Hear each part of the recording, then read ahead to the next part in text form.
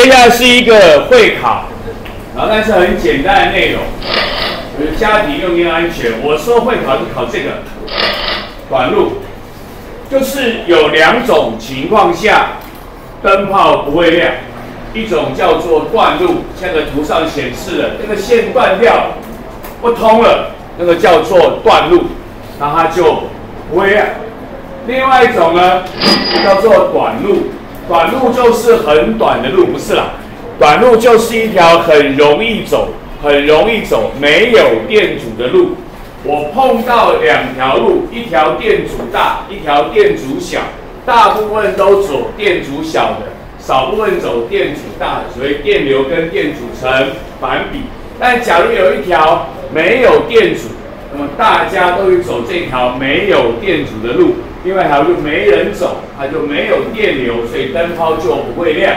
所以这里面直接交叉，下面的图直接交叉，导线没有就直接过去了，所以上就不会经过别的地方，所以它就不亮。所以这个就是所谓的短路，这个灯泡不会亮，因为走过来有一条铜线，有一条有灯泡，铜线我们假设它没电阻。所以大家都会过去走这一条，然后底下就没人走，或者是你真的要去算的话，就是一个电阻很小，底下的电阻很大，所以几乎全部都走上面那条短路，所以它就不会亮，不会亮。所以呢，这种现在要短路，短路的时候灯泡不会亮。考试题目一种，画一张图，问你哪个灯泡亮，哪个灯泡不亮，通路的会亮，断路或短路的。不会亮，断路或短路的不会亮。那么，如果你就算真的算它有电阻，这样叫并联。我们讲过，并联总电阻会变小，所以你现在有个好小好小的电阻，总电阻变得更小更小，然后电流就变得更大更大。这些更大更大的电流几乎全部都走上面的那个东西，它叫 I 平方啊，它要平方倍。所以虽然你的 R 比较小，可是你 I 要平方，这样它还是会产生很多的热，然后呢就会容易引发火灾，这叫做电线走火，叫电线走火。所以让短路的现象会容易产生电线走火，或者产生火花引发爆炸什么之类的问题。OK，好，这个问题，右图所示电路图，电泡都不坏，A 没有亮，为什么 A 不亮？为下面 A 不会亮，这很简单吗？A 不亮的原因是什么？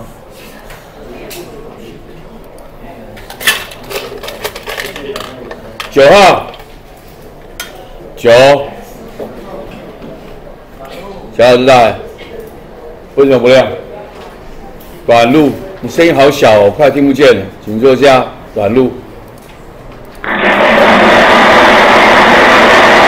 这样子问当然比较没程度了哈，但是就会问画图问你谁亮谁不亮，看到断路不亮，看到短路不亮，通路的才会亮啊。OK，下题稍有程度一点，他告诉你我有三个灯泡，其中只有一个灯泡是坏的，只有一个灯泡是坏的，我想要查查是不是一坏掉，我可以怎么接知道是不是一坏掉？我可以如何接？知不知知道是不是一坏掉？只有一个坏掉。我想知道是不是一坏掉，我可以怎么连接就知道是不是一坏掉。我主要来看一看，看一看，我要怎么接？如果一会亮，表示它怎么样？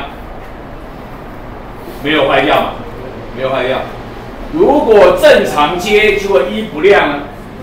不就坏掉了？你懂吗？如果正常接会亮，就是没坏；如果正常接不亮，就是坏掉了，坏掉。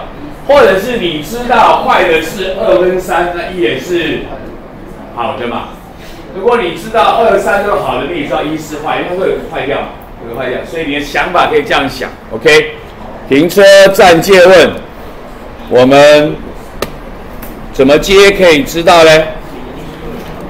可爱的大帅哥，大帅哥叫做，我找不到帅哥，怎么都找到来二八，二十八。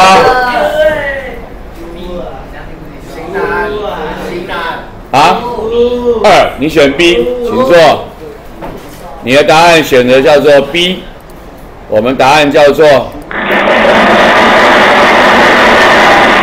猪，甲跟丙，甲是接 AB，如果接 AB，铁定一不会亮，铁定一不会亮。那么如果二三都亮，一是坏的，二三不亮，二跟三有一个是坏的，那一就是好的，一就是好的。如果我接的是 B 跟猪，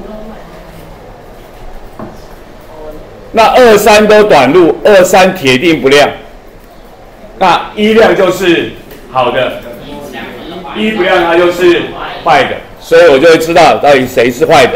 所以呢，我们答案呢选的是猪、甲跟丙，可以吗？可以。